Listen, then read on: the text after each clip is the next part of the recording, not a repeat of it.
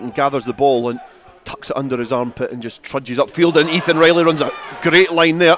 Offloads to Hector Patterson, who's now over the 22. He's got some support there, gives it to Kyle Brunton. He's got support outside him, and Andrew Mitchell. He just looks to bundle over the defender, gives it back to Brunton, and that's as nice a try as you're going to see this weekend. Excellent play from the Hawick backs, linking up.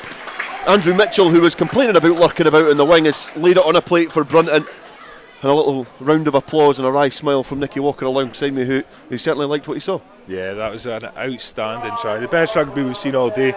Line break on the halfway line. Um, Ethan Riley, who's been really impressive today. What a performance he's had. Um, putting the ball away there, and then Hector Patterson came through with it, stayed on his feet really well, got a lovely offload to Kyle Brunton, who then put Andrew Mitchell away in the corner. And we thought Andrew Mitchell was going to be unstoppable from five metres, but again, Accies' great desperation in defence kept Andrew Mitchell out, but he managed to offload the ball back into Kyle Brunton, who had worked really hard after making the initial pass to get the ball back and then go over the line. Superb try.